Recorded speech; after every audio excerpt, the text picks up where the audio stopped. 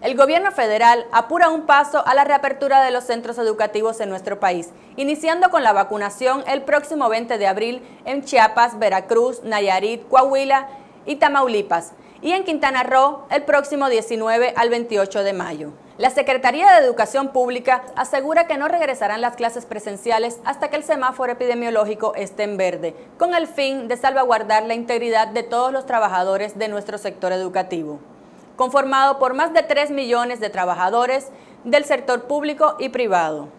México es el país en toda América Latina en donde los colegios han permanecido por más tiempo cerrados. Desde el 23 de marzo del 2020 hasta hoy no tenemos fecha para reanudar nuestras clases.